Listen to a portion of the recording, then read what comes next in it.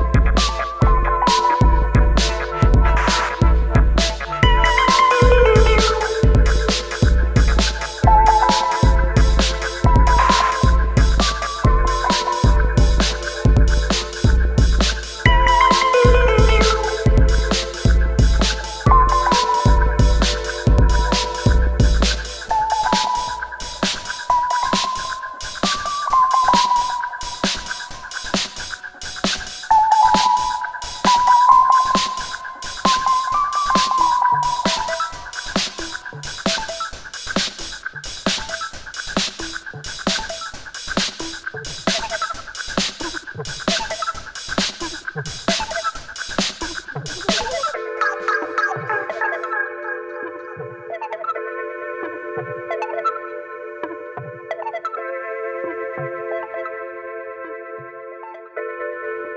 you.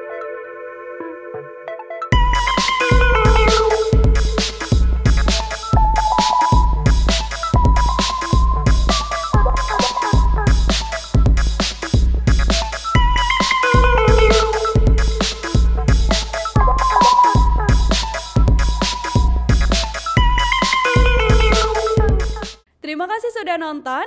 Jangan lupa like, subscribe, dan share ya.